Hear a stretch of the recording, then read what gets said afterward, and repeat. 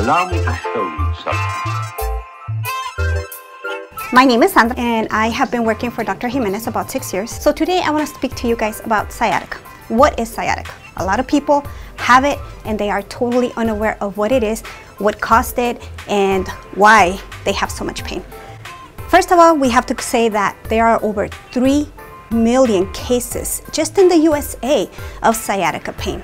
What is sciatica? Sciatica is compression of the spinal nerve that runs all the way to the feet or sometimes it stops at the calf. The sciatic nerve is the longest nerve in the body and it is instrumental to the body because it connects the feet to the central nervous system. What are the symptoms of sciatic nerve? It is lower back pain, it is hip pain, it is pain in the buttocks, it is pain that radiates all the way to your feet pain that is caused by sitting up, making it difficult for a person to even try to stand from a sitting position.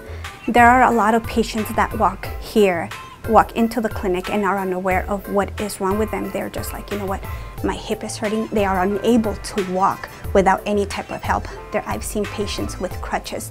I've seen patients with on wheelchairs and with help from other people, you know. Thankfully, they have loved ones that are able to help them and carry them sometimes in here. What are the causes of sciatica? Spinal stenosis, which is the narrowing of the spinal canal in the lumbar back or lumbar area of your back. Degeneration, disc disease, that is another cause for sciatica. And basically that's wear and tear. As we grow older and we mature, our discs start wearing down. So that is another cause of sciatica. Another condition would be when one vertebrae overlaps the other one causing the degeneration of the disc. That can also cause sciatica because it presses on the nerve itself. Poor posture will cause pressure on the nerve, so that is that will cause sciatica pain. Another cause would be direct physical injury, either a fall if you're if you play sports, lift weights, and there's an injury that will cause sciatica.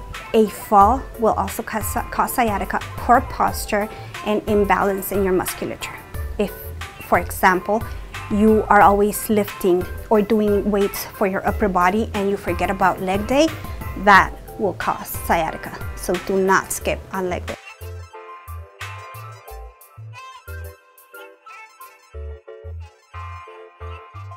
Don't be afraid. Perhaps we are both mad.